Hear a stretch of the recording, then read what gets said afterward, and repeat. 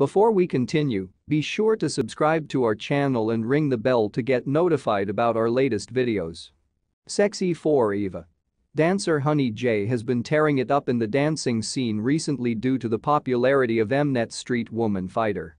However, the dancer and model has been on the public's radar since 2015, where she stunned in Jay Park's Mommae as part of his backup dance crew. Since then, she has been consistently performing at events with Jay Park.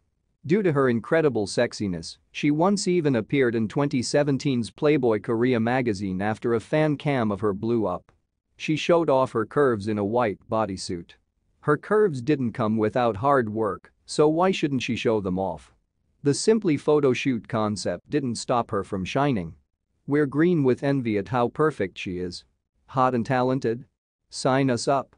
Not only that, but she's been lauded for her extremely kind personality on and off the show. What a stunner. Honey J amped things up a notch for the final cuts. We love her tattoos. Red alert. Prepare yourselves before this next one. We love a girl that knows how to work it. Full respect to her for being self-confident and sexy. If you got it, flaunt it.